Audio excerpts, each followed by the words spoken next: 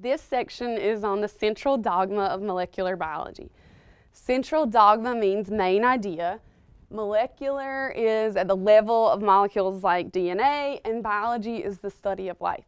So, biologists feel like this is a main idea to biology at that level, to life at that level, because it is, it's so important to making us who we are and making us unique from each other. So, um, the boiled down principles of the central dogma are that genetic information is stored in DNA, transcribed into RNA, and translated into proteins, which express traits like that you can see or have tested, like freckles or blood type. Throughout the course, you should have learned a lot about DNA structure and function. And so now we're going to talk a little bit about RNA, which is another type of nucleic acid to transmit genetic information. Um, there are some differences, hence the names being different. Um, DNA has that double helix structure. RNA is single stranded. Um, they have a different sugar, still both five carbon sugars. DNA, of course, is deoxyribose and RNA is ribose. And then the slightly tricky one, the nitrogen based thymine or T that exists in DNA doesn't exist in RNA. So a chemically similar nitrogen base is called uracil. And so you'll have that when we talk about RNA. Now, um, to get a little bit more complicated, within RNA there are three types, and they're sort of arranged here by level of importance. Um, messenger RNA or mRNA carries the message of the DNA transcript from the nucleus to the ribosome. Transfer RNA transfers the amino acids, which are the building blocks of protein, uh, to the ribosome. So remember, amino acids get peptide bonded together to make a protein at the ribosome. And ribosomal RNA is the easiest one to keep up with because it just coils up to make part of the ribosome. Okay, so then I'm going to go to the next slide. And here's our whole process of protein synthesis or gene expression. And the reason why these processes exist is because there's sort of a language barrier in our cells, right? We have DNA inside of the nucleus, the A, C's, T's, and G's that we just talked about, that you've learned about a lot throughout the course. And then we have RNA, which is fairly similar language, but there are some differences like American English versus British English. Um, so replication is just what when the DNA is copying itself to make sure that all the new cells have a master copy of that instruction book. And that takes place in the nucleus.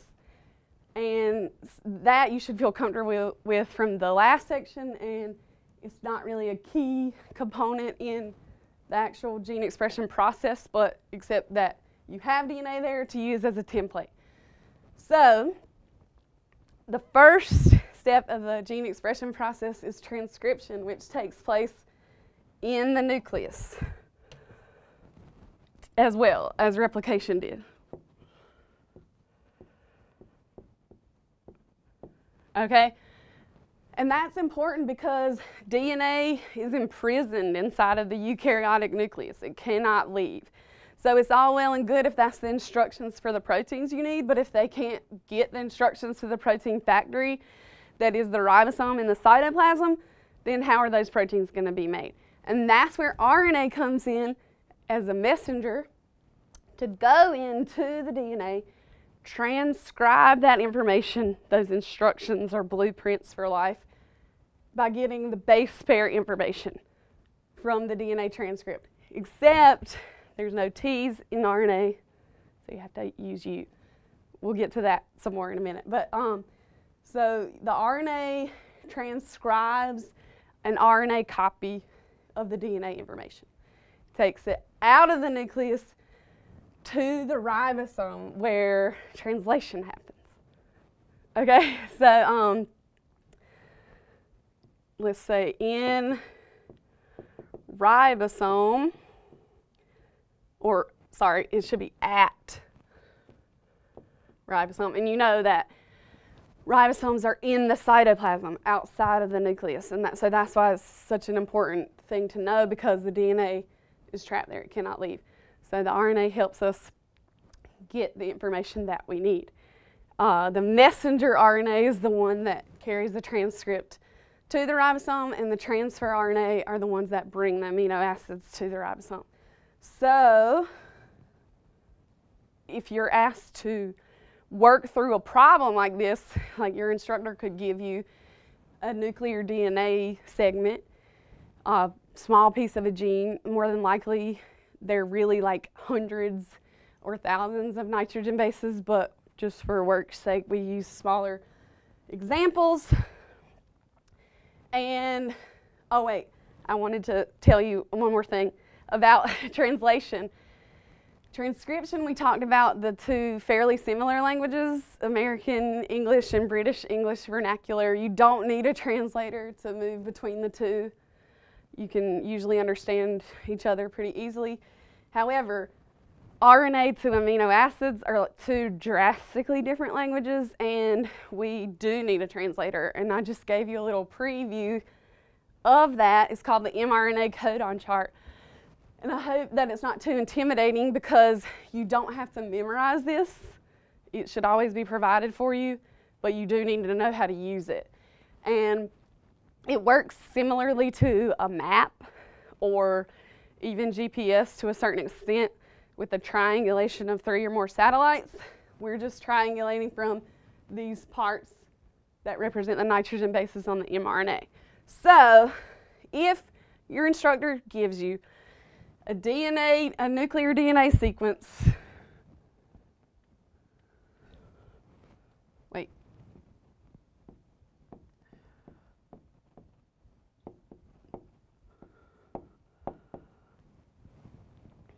Of T A C A G A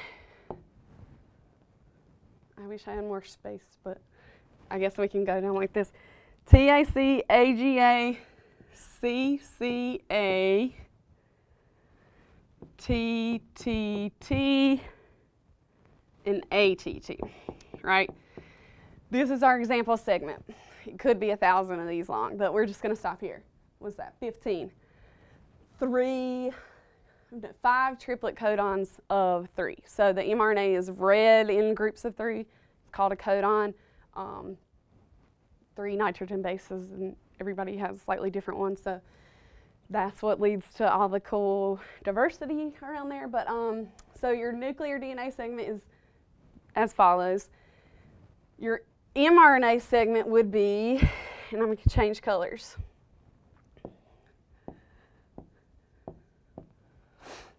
and maybe I can do it up under it, but that would be kind of squish. Okay, so well, I'm going to go with it. So um, right out of the gate, T, you know, you're like, oh, what's that confusing thing we have to remember with RNA? T pairs with A, that's the same thing as DNA, so you're not confused yet. But then you're like, oh, A pairs with T, but wait, there is no T in RNA, so you got to put U a U G U C U G G U A A A and UAA. Okay? That's transcribing from the DNA language to the RNA language. And you can do that yourself. You just have to remember the base pair rules. Okay? Next is how when we use the codon chart and you use the blue mRNA sequence that we have just transcribed to translate using the codon chart. So this part was transcription.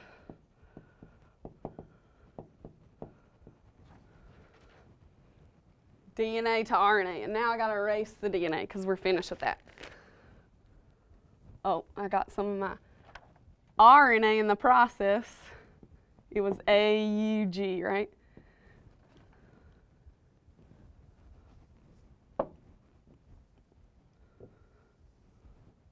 I'll just rewrite it. okay, so our mRNA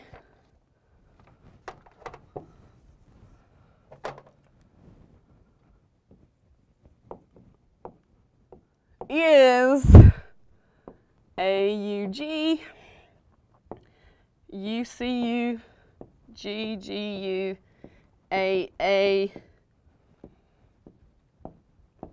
A, and UAA. All right, so I told you about how mRNA is read in codons or groups of three nitrogenous bases. The mRNA codon chart is in groups of three. Everything is done in groups of three. But if you notice, there's some repeats on here, and so that's why our genetic code is called a redundant code. And it just makes it a little bit easier for us because some of the same, some different codons code for, sometimes even six different ones code for the same amino acid. All right, so the last thing we have to do is learn how to use the codon chart. So we have AUG, and we're going to find the convergence of those letters. A, the first letter, so we know that it's going to be in this row. This one's nice and color coded, but they won't always look like this, but once you learn how to read it, it'll be easy, okay? So we know that we're going to look for our amino acids somewhere in this A row. Then the second letter is U, so we know we're going to look for our amino acids somewhere in the U column. And not only that, but in the convergence of the row and the column. So somewhere in there. Oh, I guess I could circle it, right? Green. Somewhere in there. Because it's the A row and the U column. And then we go for our third letter is G. So we trace that over there.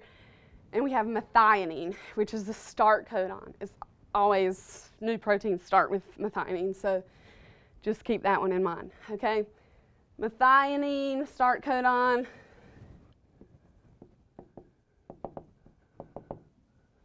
All right. And next,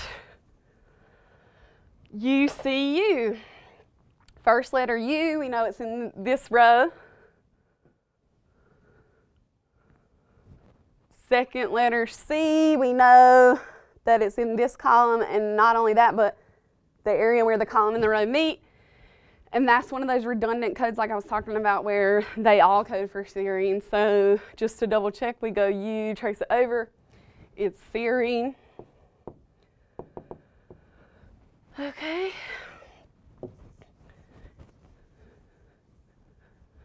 And G is the first letter of the third amino acid code. G is also the second letter. Another redundant code, GGU, glycine.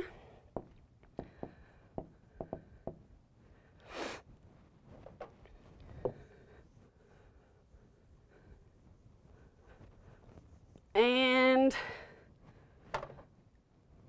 A in this row somewhere, A in this column somewhere, so somewhere where the row and column meet. Trace over the A for the third letter. Your chart's always going to be set up like this, and I'm always going to tell you first letter, second letter, third letter. We came up with lysine. And the last one